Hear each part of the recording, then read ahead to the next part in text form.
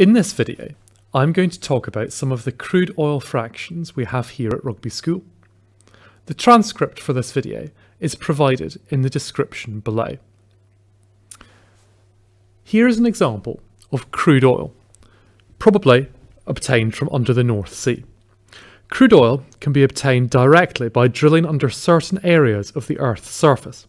It's a thick black liquid. In chemistry, a thick honey-like liquid is described as being viscous.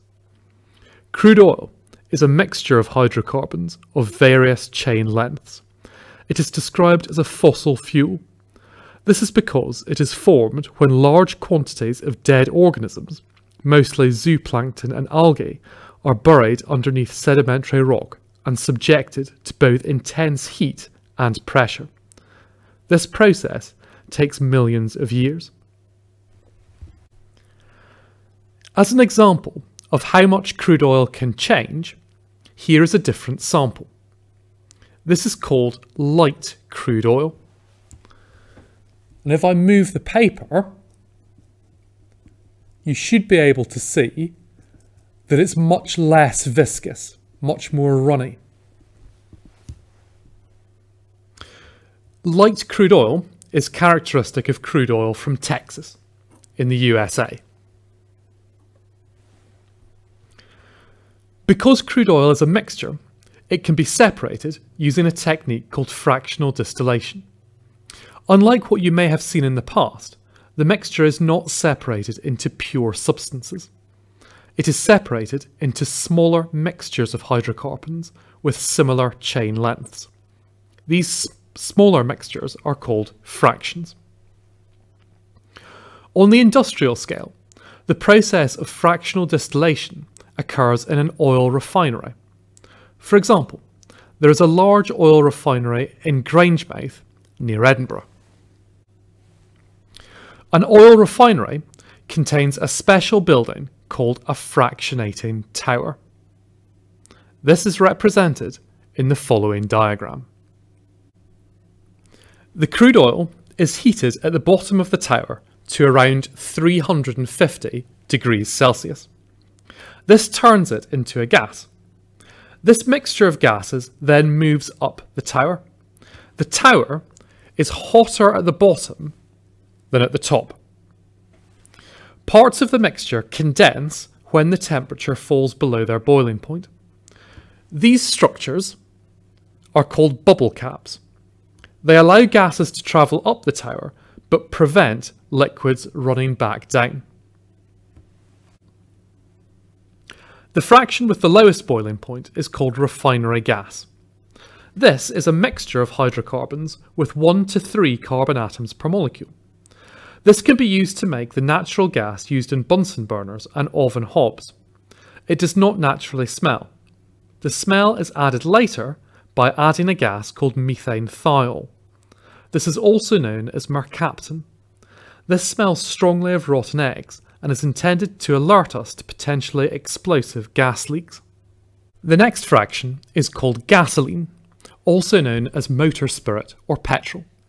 This is widely used as the fuel in car engines. This is a mixture of hydrocarbons with approximately 5 to 10 carbon atoms per molecule. It condenses at around 120 degrees Celsius. The next fraction is called kerosene, also known as paraffin. This is widely used as a fuel in jet engines and some rocket engines. This is a mixture of hydrocarbons with approximately 10 to 16 carbon atoms per molecule. It condenses at around 170 degrees Celsius.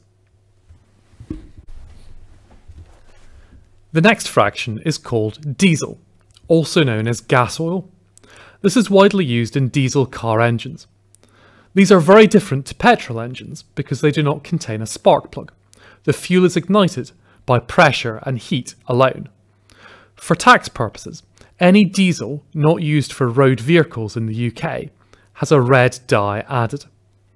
Diesel is a mixture of hydrocarbons with approximately 14 to 20 carbon atoms per molecule. It condenses at around 270 degrees Celsius. The next fraction is called fuel oil, also known as furnace oil. This is commonly burned in the engine boilers of large ships. This is a mixture of hydrocarbons with approximately 20 to 70 carbon atoms per molecule. It condenses at around 600 degrees Celsius. The next fraction is called bitumen, also known as asphalt.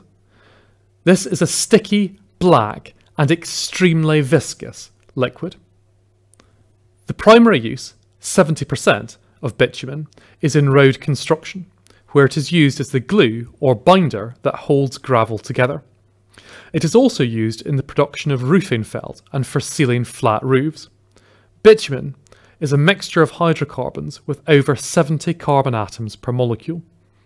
It has a very high boiling point. The contents of these fractions can vary, depending on the source of the crude oil and the setup of the fractionating tower. Intermediate fractions can also be produced. For example, naphtha, also known as mineral turpentine or white spirit, is a common fraction that is normally produced between refinery gas and gasoline. It is primarily used to clean paintbrushes and as the fuel in cigarette lighters and barbecue starting fluid. It is an important feedstock in the synthesis of plastics.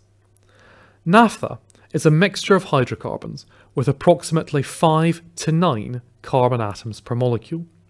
It condenses at around 70 degrees Celsius. The fractions are lined up here, with gasoline on the left and bitumen on the right. You can clearly see that as the carbon chain length increases from left to right, the colours are becoming darker. The fractions also become more viscous and their boiling points increase. As a demonstration of this trend in viscosity, I will move the samples and you should clearly be able to see that gas oil, also known as diesel, settles before kerosene, which in turn settles before motor spirit, also known as gasoline.